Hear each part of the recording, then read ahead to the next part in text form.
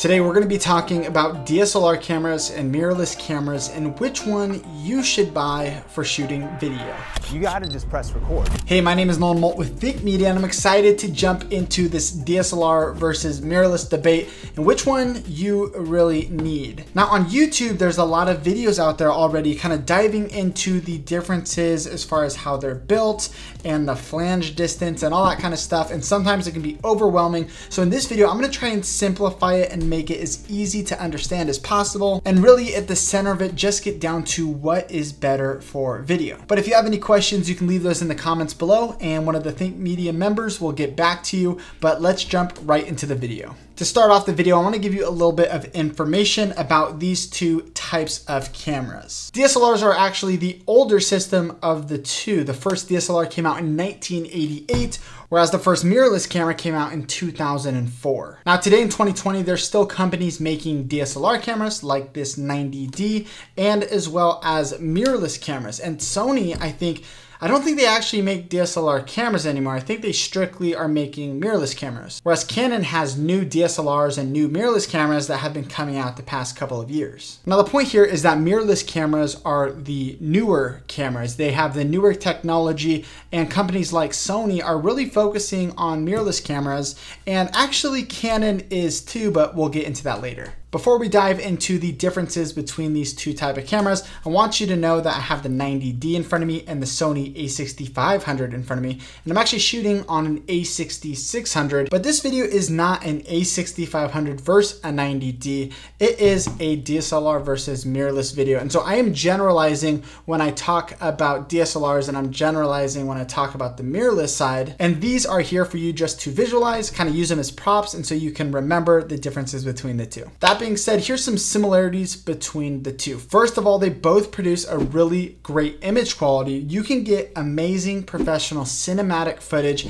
out of this camera as well as this camera. And that is something that the DSLR and mirrorlesses have in common is that on either one, you can get phenomenal footage. Secondly, on both of these camera types, you can change lenses. So if you want a wide angle or a telephoto, you can get the correct lens that you need, and both cameras allow you to do that. They both also have LCD screens, and so not all of them flip out on DSLRs, not all of them flip up or out on mirrorless, but they do have the LCD screen on the back so you can see what you are shooting. And so when it comes to video, both of these LCDs on uh, both types of cameras are typically gonna give you about the same quality when it comes to sharpness and color and brightness. Yes, some camera brands do have better LCD screens, but overall, when it comes to mirrorless versus DSLR, there's not a huge difference when it comes to the LCD monitors on either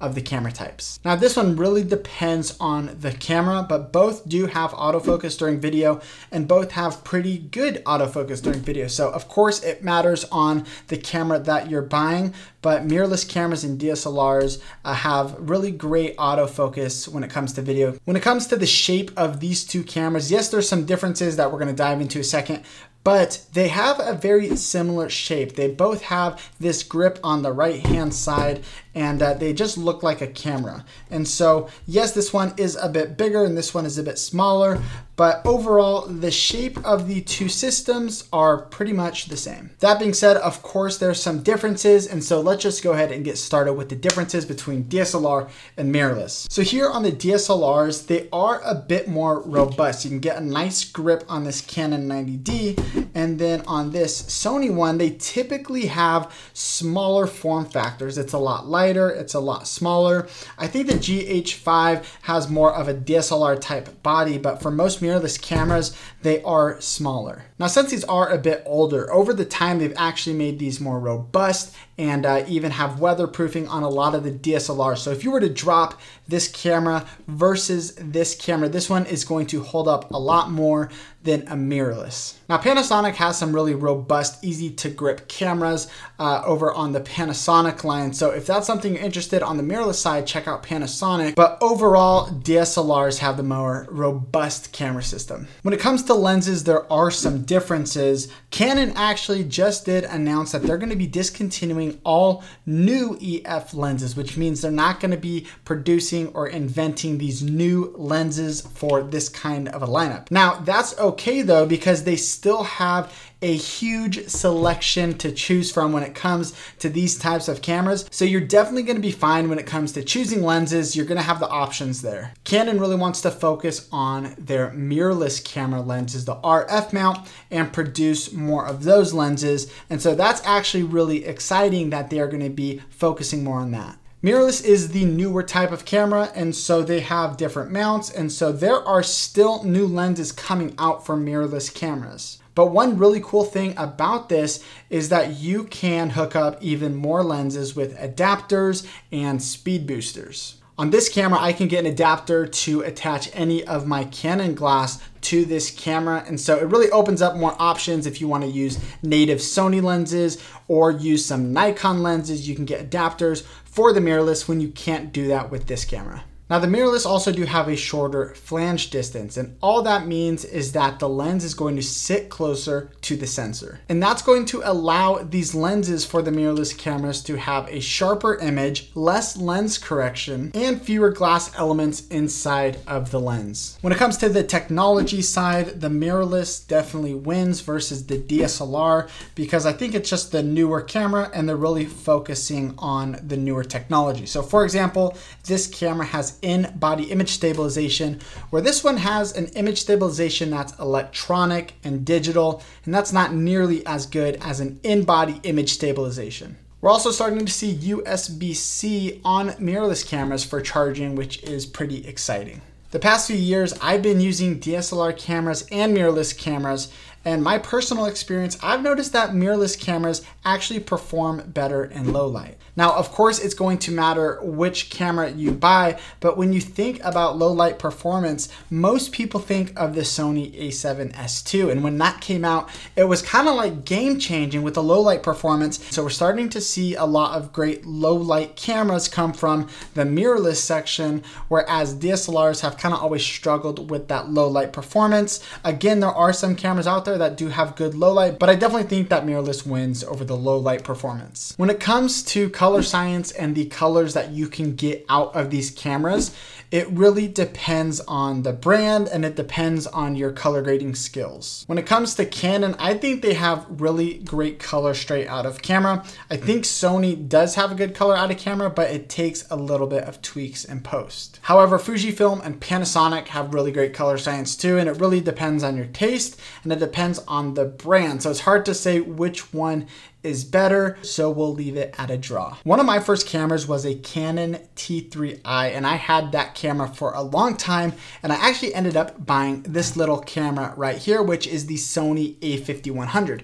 And I wanted to vlog on this, and so I started shooting my vlogs on this camera right here. And what I noticed was that the image was so much sharper than my T3i. They were both shooting in 1080 HD, but I thought the A5100 just looked so much better. So I started shooting some stuff on that camera, and then I bought a Sony a6000, and I think the quality really jumped going from my T3i to the Sony a6000. Now the a5100 and the T3i were around the same price point at the time when I got it, but the T3i of course is a much older camera. So now you're wondering which one should you buy? And I wanna give you two recommendations. So my wife makes YouTube videos and if she were to ask me should I get a DSLR or a mirrorless camera, I would tell her it depends. For her, I recommend something like a Canon, whether it is a DSLR like the 90D or the M50, which is mirrorless, I recommend that because she's going to get great colors out of the camera and so she doesn't have to do any sort of color grading. She can just edit her videos and upload them straight to YouTube. Whereas if someone else was asking me who was maybe more into video and wanted to do some paid projects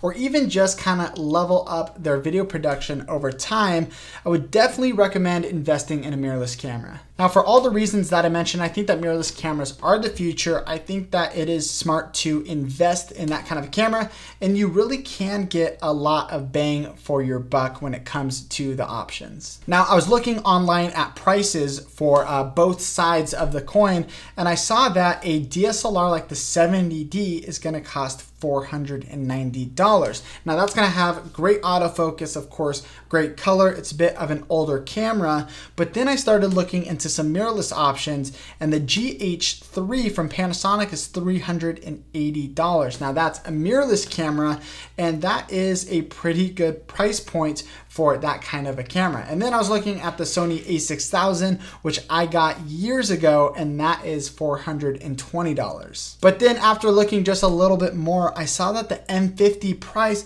dropped all the way down to $499 brand new. Now those are some pretty great cameras, especially for being under $500. And of course, these prices are gonna change over time. So you can check the links in the description. And I'm gonna put some links down there to some of the cameras that I would recommend to you. And you can check the prices in the description by clicking on those links. Keep in mind that I am speaking from my personal experiences, my personal research and personal tests. And so do your own research. Find out what camera is best for you. And really with content creation, there is no rules. There's no hard, strict guidelines. I'm just kind of giving you the advice that I would give a close friend or a family member if they were to ask me. So before we get any further, like this video and then comment down below what kind of camera do you have? And also, if you have anything to add to this conversation, this debate, leave it in the comments as well. I'd love to hear what you guys have to say. So here's my closing thoughts. I think mirrorless is the future, but DSLRs are not